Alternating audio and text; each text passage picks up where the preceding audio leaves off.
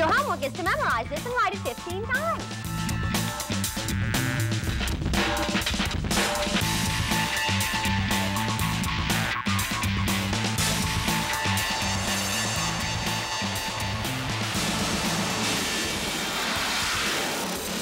Welcome to the coolest, hippest half hour of fun on TV.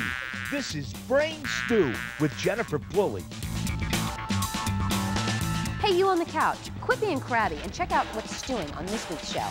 Brain Stew visits the Virginia Marine Science Museum to stuff our brain with facts about crustaceans. You know, critters like crabs, lobsters, and shrimp. Hungry yet? Well, we have a regular menu, including an excellent experiment and a visit to the library. Don't get crabby and turn the channel. Brain Stew is up next. No, no, no, cut, cut, cut, cut. I mean, I look ridiculous. I've got this hat, I mean, these glasses here, the squeaky crab. People are gonna laugh at me. I, I feel crabby. Who are you calling crabby? I'm not crabby. Let's start this over. Three, two. Hey guys, welcome to Brain Stew. Now that I'm not being so much of a crab, let's get our show rolling. This week, we're gonna stuff our brains with animals called invertebrates. What are invertebrates? That's a good question. Invertebrates are animals without backbones, like uh, crabs, um, insects, worms, and spiders. Now, you and I, mammals, have backbones. Like this, you know, we're called vertebrates. Now, birds, amphibians, reptiles, fish, they are called vertebrates because they do have a backbone. You got it? I got it, I got it. So today, we're talking about invertebrates.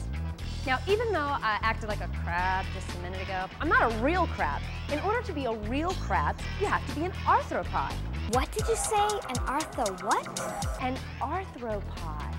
Arthropods are animals, invertebrate animals, that have a shell called an exoskeleton. Their skeleton is outside of their body, unlike ours, which is inside our body. Arthropods are also cool because they have numerous appendages, you know, like arms and legs, and they have movable joints. They're really cool. So basically what I'm saying is arthropods have lots of legs. Look, one, two, three, four, five, six, they got lots of legs. Now there are six million species of arthropods in our world, and, and crabs aren't the only arthropods. You've got insects, spiders, scorpions, and even horseshoe crabs. Now the closest relatives to the crab, right here, are lobsters, shrimp, and even barnacles. All these critters together are called crustaceans. Get this, there are 26,000 species of crustaceans. Most of those guys live in the ocean. Today, we are at the Virginia Marine Science Museum in Virginia Beach, Virginia, to learn all about crustaceans. If you thought I was being crabby, check out this monster crab. I wouldn't mess with him. He's the world's largest crab. He's 75 feet wide and 12 feet high. And if he were real, he could feed over 200,000 people. Yummy! Speaking of eating, you would need 35,000 pounds of melted butter, 45,000 lemons, and a school gym filled with cocktail sauce in order to complete your crab feast. I'm ready to eat. Oh, we're not stuffing our face right now? Oh yeah, that's right, I forgot. We're stuffing our brain with facts about crustaceans. Well, but then can we eat? Because you know how crabby I get when I'm hungry. Chris, what's up? Hey, good to see you Oh, I again. know, it's been a while. Yeah, it Guys, has been. This is my friend Chris, and she knows tons about crustaceans. In fact, she helped set up this exhibit here at the Virginia Marine Science Museum. It's called Claws, Crabs and Their Kin, and it's all about crustaceans. It's so cool. Chris, now let me get this straight. Okay, Invertebrates are animals without backbones. That's right. And they're different from us. that's right, because we Now, got one right That's here. right, we have one. Now, crabs and insects are invertebrates. Correct. Correct. Crabs and insects are arthropods. Correct. Crabs are crustaceans and insects aren't. Right. Insects are insects. How are crustaceans different from arthropods? Well, if we take a look over here, I've got some arthropods, including a crustacean Okay. up here. And you can see our spider and scorpion, and we've got insects and the blue crab. And we'll notice if we take a close look at our blue crab, you'll see it's moving its mouth around, and down under there are some special mouth parts called mandibles. And they use the mandibles to chew their food. And then just above the mouth parts, you'll see two little, look like antennae, and in fact, that's what they're called. They're actually two pairs of antennae they use to sense with. What makes crustaceans different from their relatives is that they have two pairs of antennae you'll notice that the insects only have one, and in fact the scorpions and spiders don't have any at all. And those mandibles I was talking about, you're not going to find those in the scorpions or spiders or horseshoe crabs either.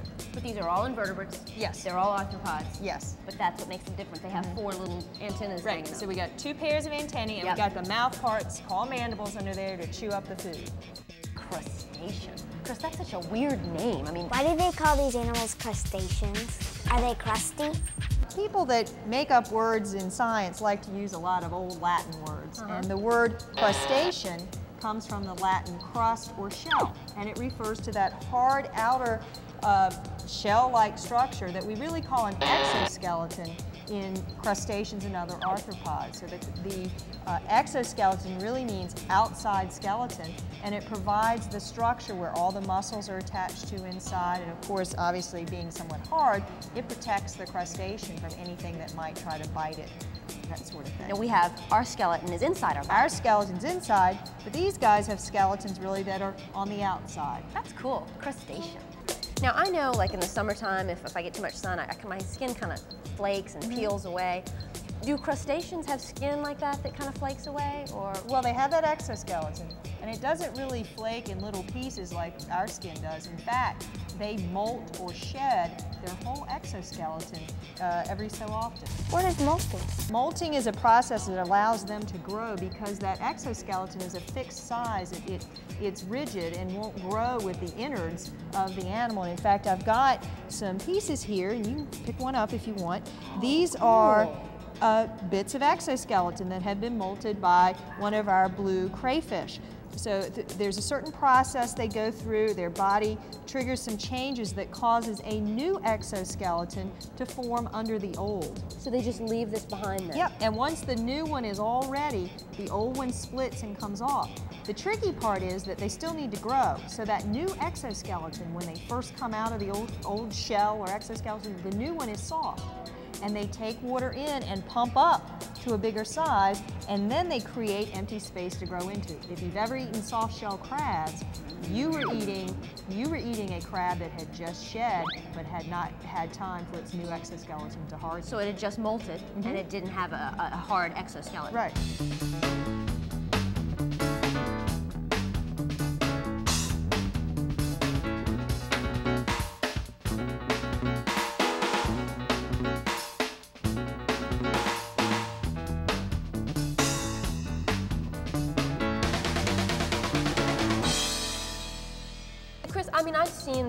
Seen bits and pieces of um, their exoskeletons on the beach, and, I, and I've also seen shells on the beach. Right. Um, are animals like clams and, and these types of animals the same as a crustacean? No, they are invertebrates. They don't have a backbone, but they belong to a different phylum. Remember, our crustaceans are arthropods. Yeah. The clams, and, and this is a cockle here, or an oyster, Yeah. uh, would all be mollusks. And the mollusks have a very uh, dense, very heavy shell, and the shell actually grows with them. And remember, in a crustacean and Yeah. other arthropods, They molt. They molt Sure. periodically because that shell or exoskeleton doesn't grow with them. Now, this uh, structure, this exoskeleton, is much lighter in weight Sure. uh, than the shells that we find on mollusks. And that light weight and flexibility allows the uh, arthropods and the crustaceans to be much more mobile than what you expect to see in a clam or a cockle, which really just kind of sit around. Hey, you, don't go away. You know how crabby I've been today. Chris and I will be back after the break to stuff your brain with more information on crabs, lobster, and shrimp.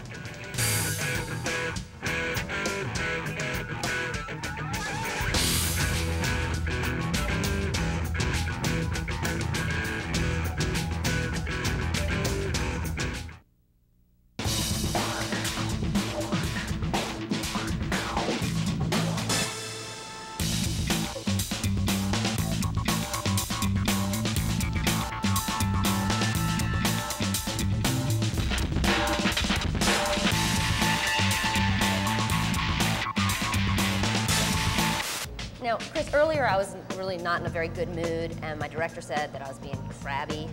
Which crab is crabbiest of all? Well, here in our area, most people would probably tell you the blue crab. And like crabs that, that uh, have sharp, strong pinchers and quick reactions, you can see that this female blue crab is not really pleased that I have picked her up. She is hot. Right, and so you can see how she's, she's uh, looking forward to, to giving me a pinch, and you'll notice that I'm holding her from behind so she can't uh, get hold of my fingers. These pinchers are uh, very sharp and strong and could cut my finger, not cut my finger off, That's but, right, would, but- would puncture and, and In fact, she has wound. pinched you This before. one has pinched me before, so we're uh, we're going to be very careful with holding her today. But this uh, this is where the term crabby comes from. This aggressive behavior, and you can see that she's not intimidated by the fact that I'm a little bit bigger than she Yeah. is. Uh, she's not going to back away. Uh, just because I'm a bit larger, and she relies on those pinches for protection. Why are they called blue crabs? Well, if you get a close look at the appendages on this crab, you'll see where that name comes from. Look at that beautiful blue color. Now, the shell, or the, the what's called the carapace of the exoskeleton Can here? Mhm. uh, is more of an olive color, but the, it would be out here on the limbs where you would see that bright blue. And in fact, their scientific name, Callinectes sapidus, one of those Latin Greek kind of names Yeah. again, means beautiful swimmer, savory and tasty. But you can see where the beautiful comes from with these colors here. Isn't that gorgeous?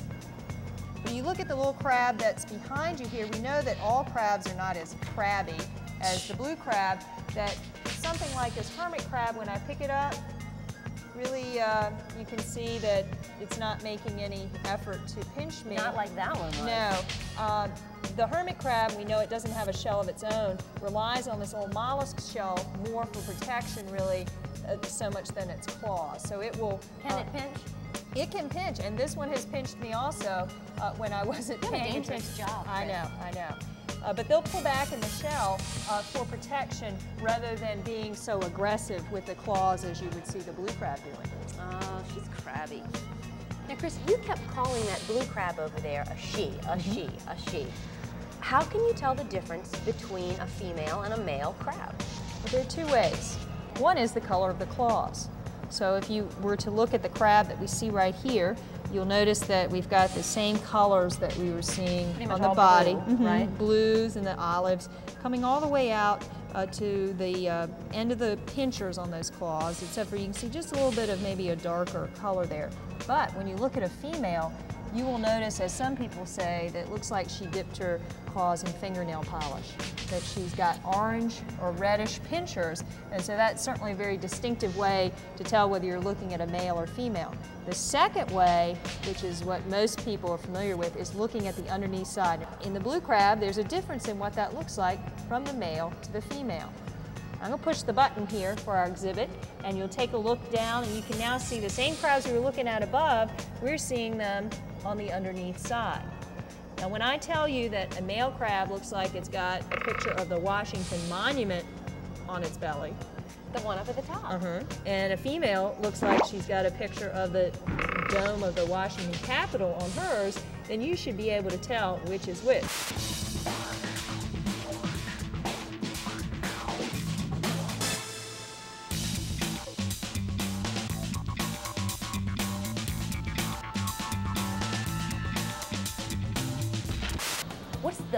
Biggest crustacean or the largest crustacean in the world or that you have here at this exhibit? Well, the biggest one we have here in the claws exhibit is this sheep crab. This is a female sheep crab, and big, the largest that, that they know that these animals get, if we picked her up and held her out, now she's not this big, but Yeah. biggest ones they've measured of sheep crabs.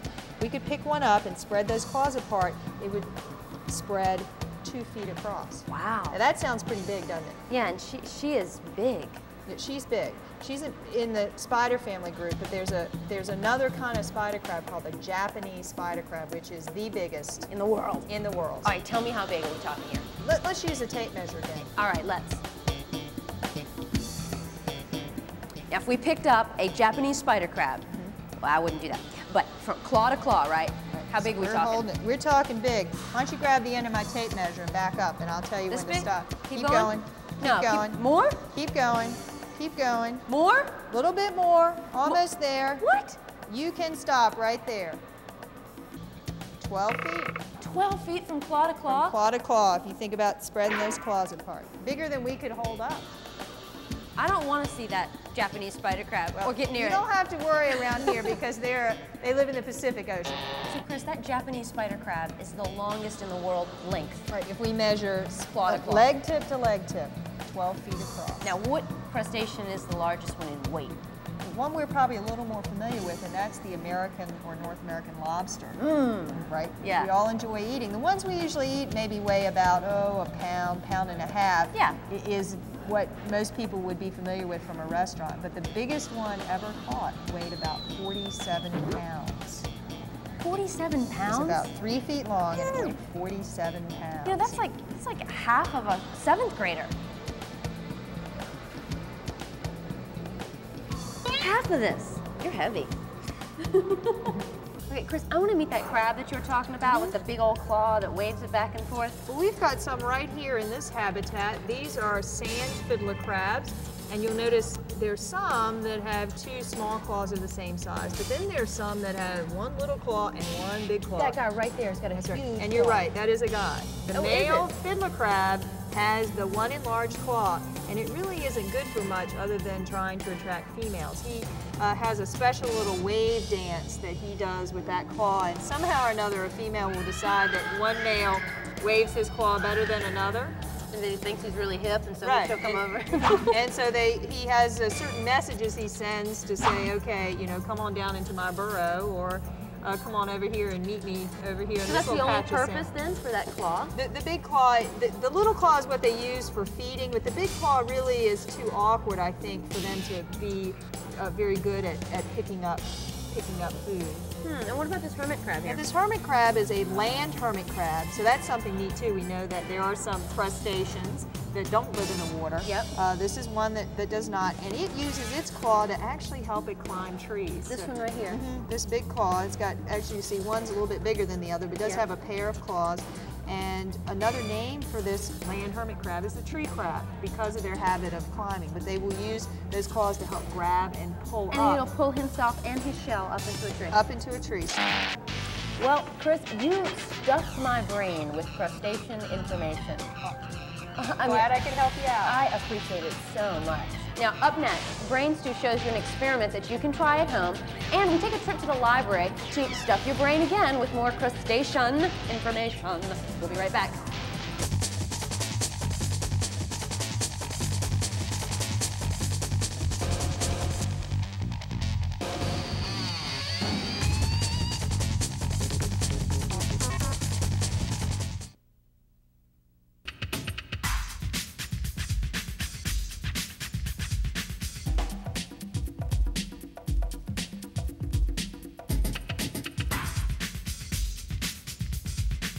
How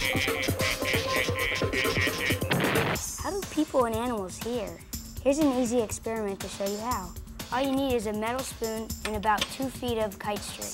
Tie the handle of the spoon in the middle of the string.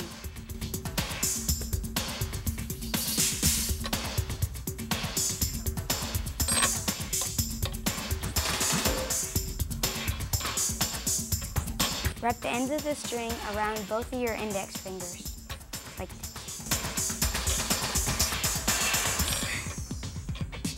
Oh, and make sure both strings are the same length. Next, put both of your index fingers in the ear. Finally, lean over so the spoon hangs freely and tap it against the edge of your table.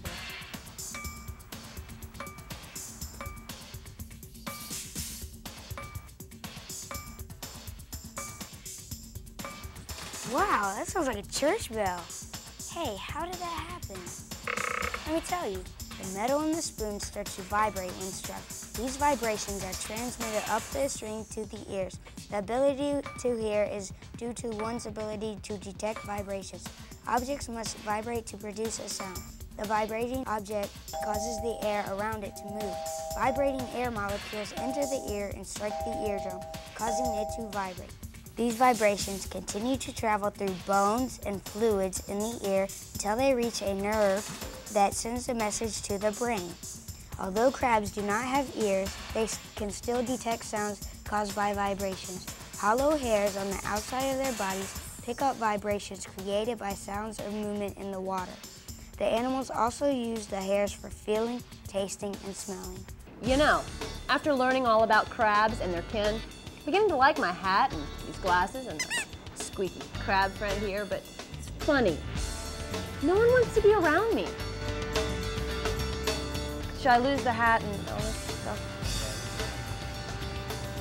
You know, all this talk about seafood is making me hungry. Remember when I tried to eat that crab on top of the Virginia Marine Science Museum? Yeah, he was a little bit too big, so I decided to go for a smaller portion. I'm here at Rockefeller's Restaurant in Virginia Beach, right on Rudee Inlet. See that inlet right there? It goes right on out to the Atlantic Ocean, and that's where you find all those crustaceans. Now, Rockefeller specializes in crustaceans, especially shrimp, crabs, and lobster. Take a look at what they brought me. Yummy. All right, we've got our lobster. Hello. We've got shrimp, steamed, and fried. Mm. We've got snow crab legs. Now, these are just his legs. Think about what the crab must have looked like. We also have hard shell crab and soft shell crab. Remember what Chris said about soft shell crabs? They've just molted. Their exoskeleton is soft, unlike this guy's right here, so they're very easy to eat. Oh, and they're really good.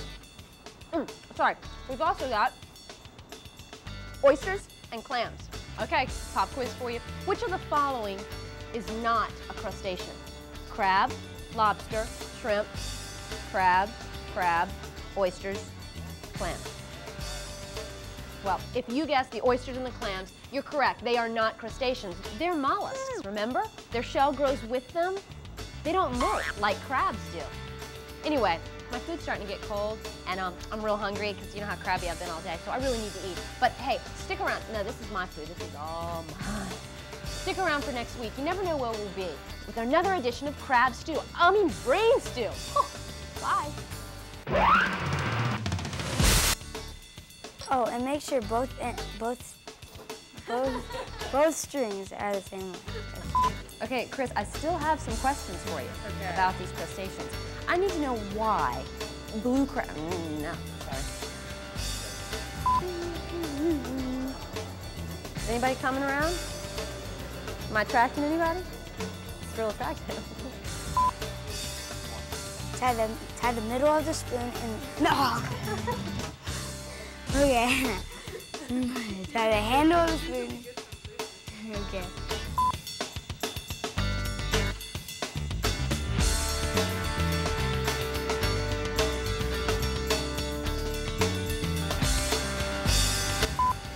Now there are six million species of octopus.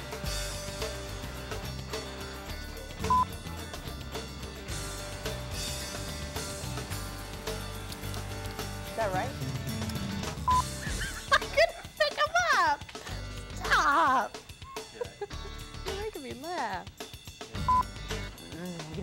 All this talk about seafood is making me hungry. And what kind of body? In what body of water are most blue crabs? You guessed the oysters and the clams, you're right. Remember, they're mollusks. Their shell grows with... Remember, they're mollusks. Their shell grows with... They're... mo-